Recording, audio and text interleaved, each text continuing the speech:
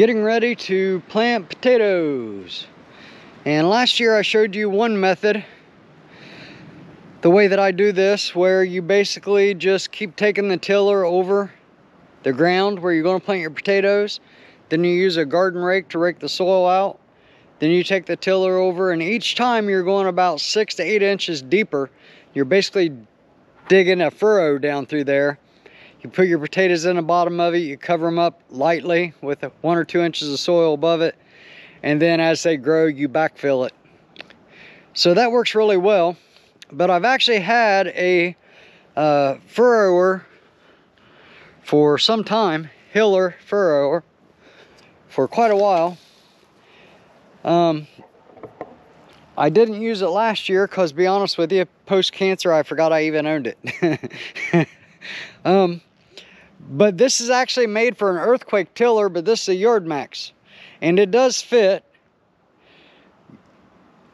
You basically, the stake that's made for it doesn't come up far enough to get to this second stake. This is a door hinge pin. And it fits in there and holds it in place just fine. So let me show you how this does and you'll kind of get an idea whether or not you will need a furrow or hiller, they're useful for lots of things besides this. Not only that, it's adjustable. And I got it kind of set right now to kind of dig, dig like a trench. But you can make it uh, where it hills up the rows on the outer part of it here, which is what a lot of people use them for. And I'm actually using it for the point side of it to dig a trench. But it's also going to create a hill or a furrow down through there, a trench. And I'll get this camera set up and show you. And I'll leave a link down in the description to my Amazon affiliate account if you need one of these. It actually fits five or six different models of tillers. And I'll put them down in the description too. Because if you go and look it up, it only says earthquake, but they it literally fits Cub Cadet, Yard Max, Troy-Bilt. Um, there's a bunch that it fits. So let me go ahead and get this started and we'll get going.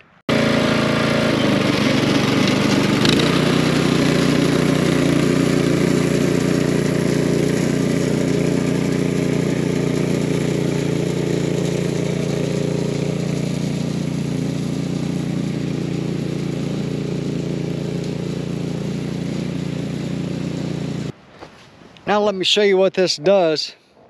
I'm not sure if that's going to show up very well on camera though. I don't know like what angle. That digs about 12 inches deep. A straight line, 12 inches, well it's not quite straight. I'm not very, I'm not very straight today. But it digs a trench. Now that's useful for two things. You can plant your potatoes in this trench or the other reason why people use it is to mound, you create mounds. So you go down through here and it creates, it builds up a hill on this side, builds up a hill on that side. Then you space it out to where when you go down again, you build up another hill. So it's like the hill here gets pushed over on top of this hill, that creates a furrow. So you can use it this way to like dig in potatoes, which is what I'm gonna use it for and I'm gonna make a couple passes or you can use it to create furrows or, or mounds or hills. So really handy tool to have for a tiller. Makes it very simple. Um, the one thing you got to keep in mind though when you're doing that is your spacing of your rows that use this technique. For instance, if I'm do doing this trench, I have to be at least a tiller width before I can do the next trench because you got to be able to, to maintain these trenches or you got to be able to maintain the furrows. So you got to have room for the tiller to get through there. And as you can see, if I was doing furrows, I would start probably my other row so that the edge of the tire is about right here and that would push this up that way. So you just gotta kind of play around with it till you get it right, but it's pretty simple to use. These were very popular back in the 50s, 60s, and 70s, and they just kind of got like out of the way, like people just stopped using them. Uh, about the time everybody stopped gardening until the pandemic, right? But uh, us old folks, we remember this stuff. But a furrower hiller, great addition to any tiller, get you one. I'll leave a link down in the description.